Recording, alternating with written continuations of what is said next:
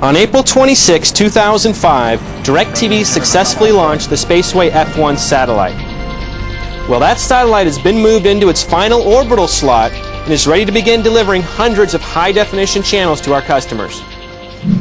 Hi, I'm Patrick with the DirecTV Technical Training Department, and today I'll be covering the KAKU DirecTV system. We'll see how it works and how you, the professional installer, will make it happen. Let's start by explaining the three advanced features incorporated in the KA-KU system. The KA-KU DirecTV system uses an advanced compression technique, has advanced coding, and advanced modulation. Using MPEG-4 video compression, the information to create the picture is sent in a digital format to the receiver, just like computer information is sent through the internet to a computer. When we use MPEG-4 compression, we're able to send information to populate all the segments on the screen creating one picture frame.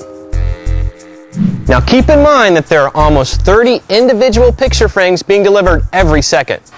With MPEG-4 compression, we're able to send only the information that changes in an individual frame, allowing us to produce a crystal clear picture and send far less data per second.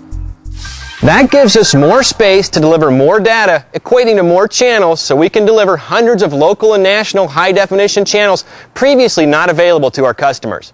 Advanced coding allows us to provide more specific control within the receiver, giving it greater reception capacity. This coding enables us to provide programming unavailable with any other receiver and the ability to provide the correct local channels anywhere in the country. Modulation is the process of varying a carrier signal in order to use that signal to deliver information. Our new advanced modulation allows us to carry more usable signal, equating to more channels. By 2007, DirecTV will have four new Ka-band satellites in orbit. Two will be located at 99 degrees and the other two at 103 degrees west longitude. You might be asking yourself, what is KU and KA band? Well, all transmitters are allocated specific frequencies to operate within the United States by the Federal Communications Commission. KAKU is simply a part of that frequency spectrum like AM and FM radio. These frequencies may be lower like those for off-air television or radio, or all the way up to higher frequencies for microwave and even satellite communications. These Ka-band satellites are in a different frequency spectrum from our current Ku-band satellites, so their signals won't interfere and the satellite can be located much closer to our existing Ku-band satellites.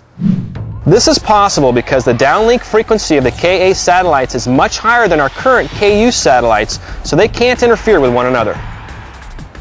By adding these Ka-band satellites to the current DirecTV fleet, our delivery capacity more than doubles, allowing us to provide local digital channels plus our core DirecTV programming from a single ODU. The KA-KU ODU has a wider viewing area since it looks simultaneously at satellites from 99 degrees to 119 degrees. That means there are some additional things for the installer to consider. Let's take a closer look.